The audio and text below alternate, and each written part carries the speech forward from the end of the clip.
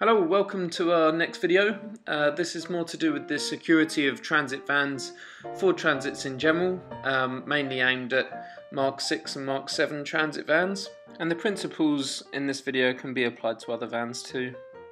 We've all seen those videos on YouTube of how easily it is to break into transit vans, so hopefully this video can give a bit of guidance to anyone that might be looking to upgrade the security of their van this video doesn't cover all possible ideas um, because there are external deadlocks and stuff you can get as well.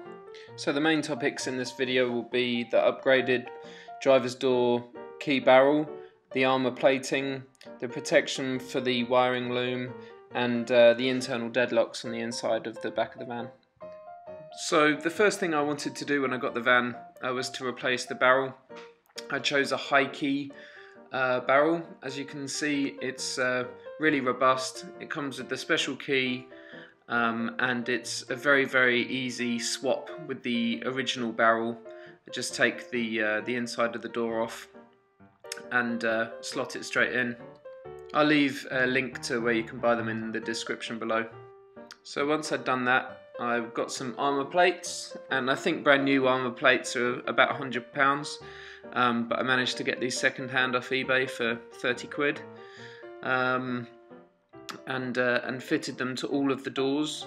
Uh, take note that with the sliding door, I've seen a lot of vans in the UK with uh, the armour plating in the wrong position. Where we've placed ours on the sliding door is the correct position. It's not the same height as the uh, passenger door, um, so bear that in mind. The next bit was protecting the loom where the uh, wiring goes from the body of the van into the back doors. Um, there's a little plastic covering over those cables and that can easily be broken with a knife going down uh, the crack between the door and the bodywork and near the back lights. So you can buy these protectors off eBay and we just riveted ours in. Uh, it just prevents anyone snipping the loom on pre 2003 transit vans, I think. Uh, I might be wrong with that, but on the earlier Mark 6 transit vans, if you cut the wiring loom there, it would disable the central locking. Uh, and obviously, then any thief could have access to the back of the van. Um, uh, and although that wouldn't be the case with this van because ours is a 2005, um, it's just such a hassle if uh, somebody was to try that, not knowing that it was uh, a newer Mark 6 Transit, uh, it just saves having, having to replace that, that wiring if it was ever to happen.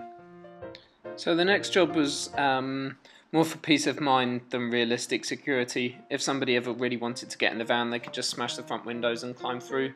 Um, but we just put some deadlocks on the inside of the back doors because obviously ours is a camper van and we're going to be sleeping in it.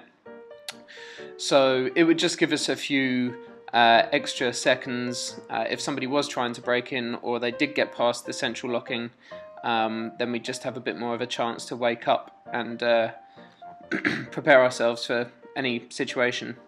Also when we're leaving the van, when we uh, did our road trip around Europe, it was nice to be able to lock the inside of the back of the van um, and leave the van sort of knowing it was difficult to break into um, if we were in places that we didn't know.